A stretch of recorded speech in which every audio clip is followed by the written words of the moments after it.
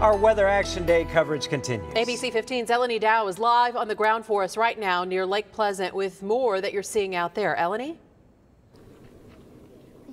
Yeah, well, Katie, I am out here at well, south of Lake Pleasant. You can see right behind me this RV that tipped over. Now, it almost hit Annie Stessel's trailer that's yes. right behind it. Annie, tell me a little bit about what happened earlier today. Well, we all of a sudden, we, I knew it was a, a, perfect storm. I went to tell my husband, listen, something bad's going to come real soon.